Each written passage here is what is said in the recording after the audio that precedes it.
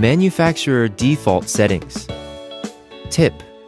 Go to the factory settings to reset HS2800 menus to the manufacturer's default settings.